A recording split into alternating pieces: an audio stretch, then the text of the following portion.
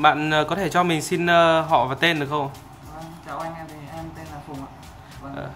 Hiện tại thì bạn đang làm việc hay đang học ở đâu nhỉ? vâng em hiện tại thì đang học công nghệ thông tin tại Bách Khoa Hà Nội ạ. À rồi. Ờ, thì bạn vừa ừ, trải nghiệm cái tai nghe iPhone mà bọn mình đang bán thì bạn có cảm nhận như thế nào về chiếc tai nghe này? Thì cảm nhận bên ngoài của em thì chất lượng là hoàn thiện của tai nghe là rất tốt. Thì tai nghe có độ đàn hồi rất là cao. Thì em có nghe thử một số bài thì ờ, bác khá là chắc và ấm, chất âm ấm. Cảm ơn bạn về những cái cảm nhận đó. Thì ờ, bạn đã biết được là trên thị trường cái tai nghe này đang bán với giá là bao nhiêu không bạn nhỉ? Thì ờ, em cũng có tham khảo ở số cửa hàng của FPT thì thấy người ta bán khoảng tầm 7 800 nghìn gì đấy.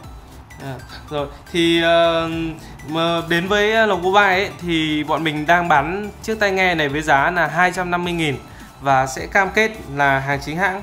Nếu phát hiện đây không phải là hàng chính hãng thì sẽ được tặng 10 triệu đồng. Thì bạn cảm nhận gì về cái mức giá đó và bạn thấy là mức giá đó có hợp lý không? thì với chiếc tai nghe này thì với giá bên Lộc Mobile bán 250 nghìn em thấy là rất hợp lý với người tiêu dùng thì tai nghe với chất âm thì rất là tốt so với mức tiền của nó này ra thì với lại à, chính sách bên lồng Mobile thì tốt Rồi, mình à, xin cảm ơn bạn nhé. ờ, chào bạn.